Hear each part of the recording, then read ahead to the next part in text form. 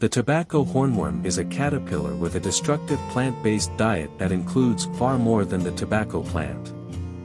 They have voracious appetites and can lay waste to healthy tomato plants in just a few days, devouring leaves and stems with ease. The head of the caterpillar is rounded, with the mouth underneath.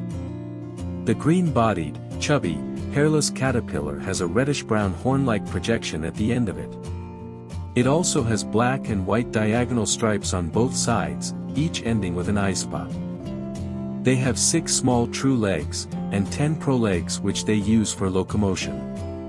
Each proleg has a bottom pad called a crochet equipped with tiny barbs that provide the caterpillar with grip when moving around.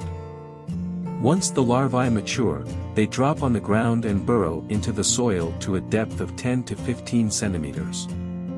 Here, they form brown or reddish-brown colored pupae. The adult form is known as the Carolina sphinx moth or hawk moth. Because of its rapid beating of their wings, these moths are also known as hummingbird moths. Thank you for watching.